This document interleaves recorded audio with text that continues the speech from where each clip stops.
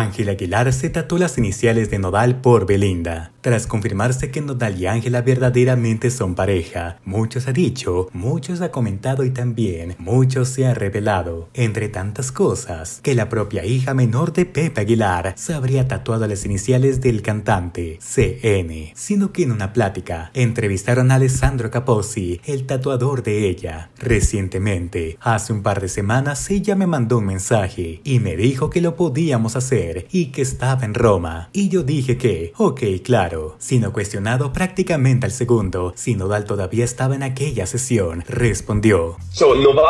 Nodal no estaba con ella en el estudio.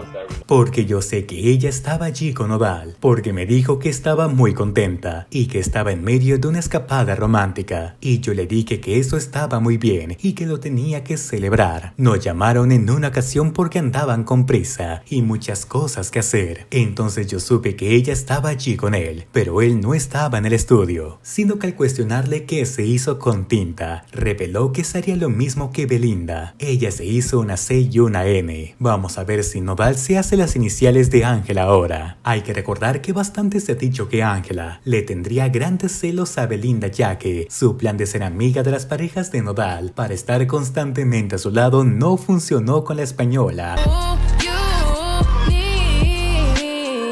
Por lo cual ahora estaría replicando todas las acciones que haría con Nodal, la cantante de Luz sin Gravedad, sino que incluso se ha comentado que recibió una sortija de matrimonio, un hecho que también le preguntaron al propio tatuador, quien respondió, vi un anillo gigante, ella estaba súper contenta pero no me contó de qué se trataba, y yo, ¿qué es eso?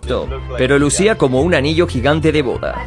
Y ante la pregunta directa si cree que se casó en Roma, respondió sin ninguna duda, no te lo podría decir exacto, honestamente. Tal vez, puede ser. Solo sé que estaban en un viaje juntos y con ese gran anillo puede ser, pero no lo sé. Ella no me contó de eso. Sentenció al final.